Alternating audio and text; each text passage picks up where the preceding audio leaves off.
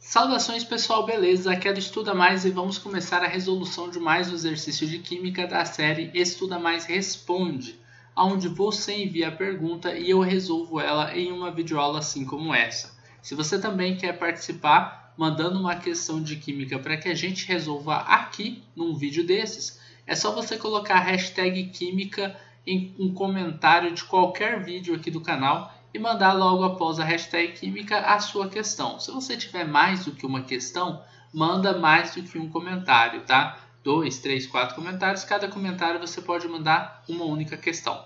Então essa questão ela foi enviada pelo Leônidas 2000.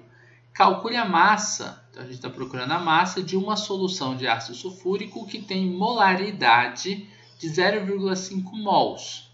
Tá? Então é mols por litro, essa é molaridade, tá? É, sabendo que o seu volume é de 2 litros.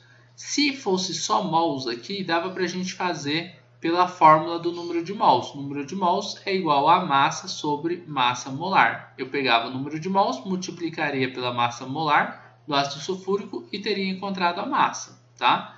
Só que ele fala que é a sua molaridade. Molaridade não é uh, número de mols, e sim esse emissão aqui molaridade é igual a massa sobre a, a massa molar, tá? Uh, vezes um volume.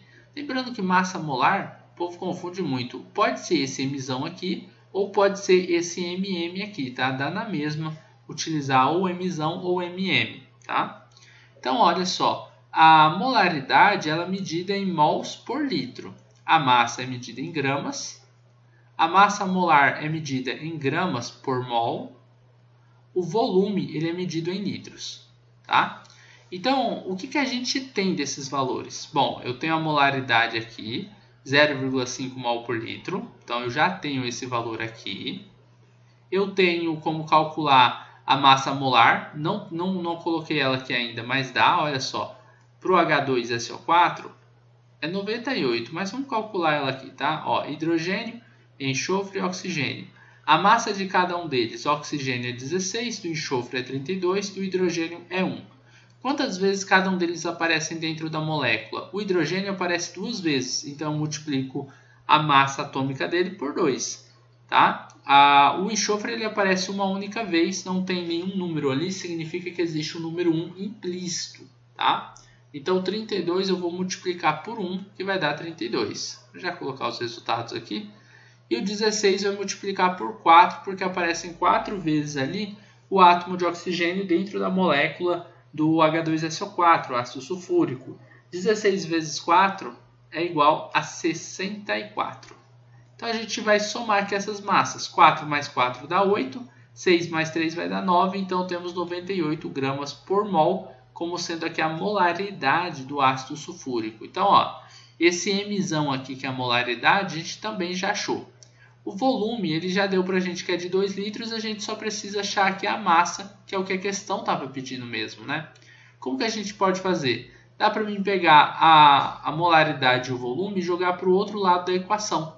Assim eu vou ter que massa é igual a molaridade vezes a massa molar multiplicado pelo volume. Eu acho que eu falei molaridade, né? É massa molar esse emissão aqui, hein, pessoal? A molaridade é esse outro emissão aqui tanto M, né, que até confunde. Então a gente tem aqui massa é igual. Qual que é a minha molaridade, que tem que estar em mol por litro? É esse 0,5 mol por litro aqui, tá? Então eu tenho 0,5 mol por litro vezes 98 é, gramas por mol vezes 2 litros. Olha só, o 2 multiplicado pelo 0,5, esses dois aqui, vai dar 1. Tá? Então, o 98 vezes 1 é 98. Então, vai ficar sendo 98 gramas a nossa massa final. Tranquilo? Olha só, um mol aqui corta com mol, o litro lá em cima corta com litro aqui embaixo e fica só o grama. Então, 98 gramas é a resposta para esse exercício de química. 98 gramas do que, né? Você pode perguntar isso. 98 gramas de H2SO4. Bom, basicamente é isso. Espero que vocês tenham compreendido, espero que vocês tenham gostado. Se gostaram dessa videoaula, não esqueçam de deixar um like nesse vídeo, de compartilhá-lo com seus amigos em suas redes sociais para que eles também possam conhecer o canal Estuda Mais e que eles também possam vir aqui fazer as suas perguntas, tá? E, e aprender uma, algumas coisinhas de química aqui com a gente, tá bom?